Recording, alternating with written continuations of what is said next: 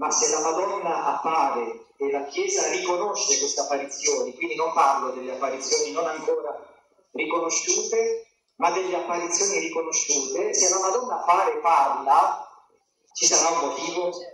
Eh, ecco, la Madonna parla e come? Ecco, Roma sarà la sede dell'Anticristo. E poi eh, ad ha detto se non vi convertirete arriverà un diluvio di fuoco. E sono parole che hanno un certo peso.